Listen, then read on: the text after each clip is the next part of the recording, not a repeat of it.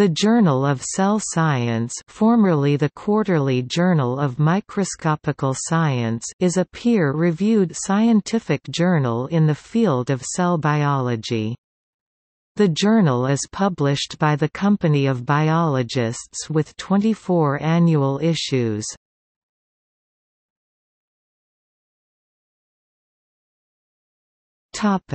History Topic foundation and early years The journal was established in 1853 as the Quarterly Journal of Microscopical Science, Q. J. Microsc. Sci. ISSN 0370-2952. The founding editors were Edwin Lankester and George Busk. The publisher of the early issues was Samuel Hiley of Fleet Street, London, with John Churchill and Sons later J and A Churchill taking over from 1856.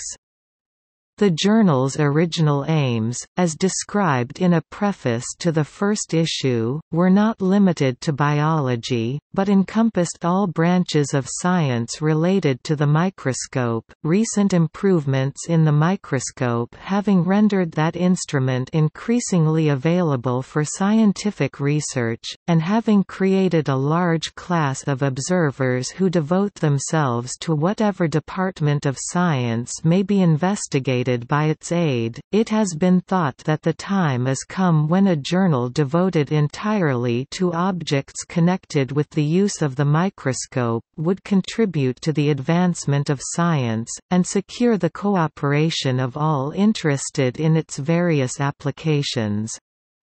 The object of this journal will be the diffusion of information relating to all improvements in the construction of the microscope, and to record the most recent and important researches made by its aid in different departments of science, whether in this country or on the continent. It will undoubtedly be a journal of microscopy and histology, but the first is a term but recently introduced into our language, and the last would give but a contracted view of the objects to which the journal will be devoted. Contributors to the first issue include Thomas Henry Huxley, Joseph Lister, William Crawford Williamson, and George Shadbolt. The contents of the early issues are diverse, and include original research articles, translations of papers published in other languages, transactions of the meetings of the Microscopical Society of London later the Royal Microscopical Society, and book reviews. The journal also published short notes and memoranda, aimed, to gather up fragments of information, which singly might appear to be useless but together are of great importance to science. The editors encouraged non specialist submissions to this section, considering that there are few possessors of a microscope who have not met with some stray fact or facts which, published in this way, may not lead to important results results. The editors also intended to relieve the graver and more strictly scientific matter of the journal by lighter contributions, such as will be found useful to the beginner, not uninteresting to the advanced observer, and of interest perhaps to the general reader. Lankester and Busk co-edited the journal until the end of 1868. Lankester continued to edit the journal with his son, Ray Lankester until the end of 1871.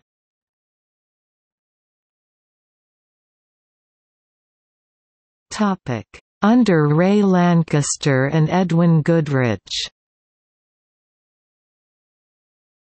After Edwin Lankester's retirement, Ray Lankester remained an editor, with co-editors including E. Klein, William Archer, Joseph Frank Payne, and W. T. Thiselton Dyer. From 1878 until 1920, he served as the sole editor, amassing a total of over 50 years as an editor of the journal. The journal flourished under his guidance, becoming one of the leading British science journals. His successor, Edwin Stephen Goodrich, served as editor for 25 years, from 1920 until his death in 1946. Oxford University Press took over as publishers in 1920.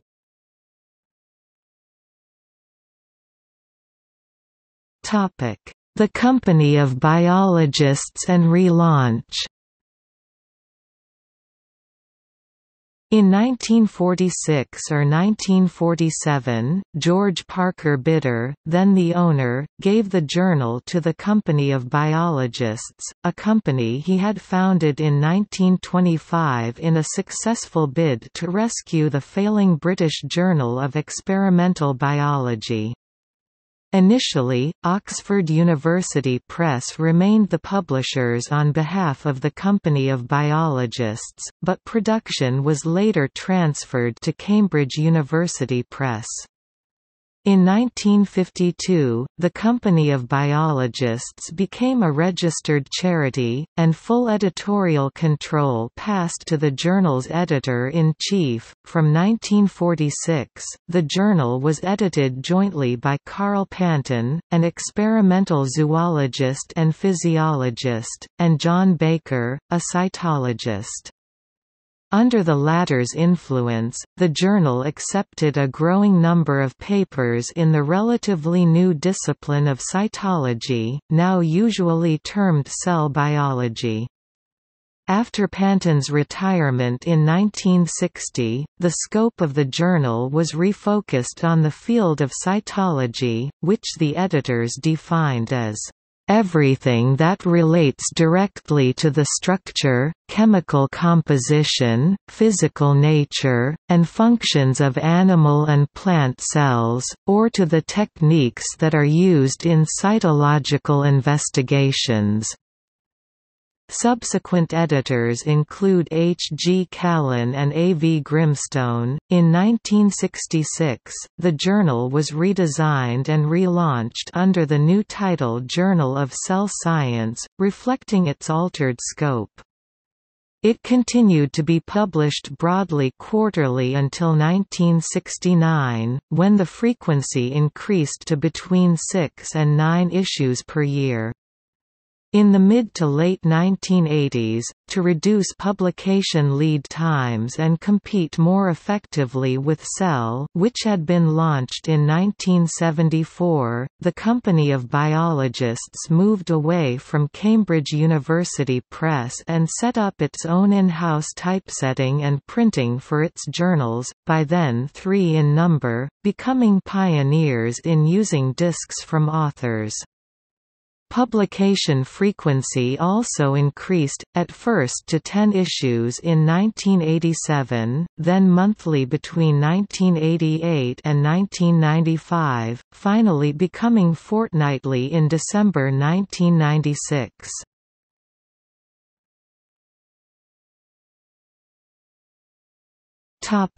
Modern journal Issues from 1853 are available online via the journal website and Highwire Press as PDFs, with a text version additionally available from 2000. Content over six months old is freely available, and all articles are available to readers in developing countries via the Health Internetwork Access to Research Initiative. Since 2004, authors have retained copyright of their material, licensing their contributions to the journal. In addition to research papers and reviews, the Journal of Cell Science includes critical commentaries and an occasional column, Sticky Wickets, offering controversial views of life science research. The current editor-in-chief is Michael Way London Research Institute, UK.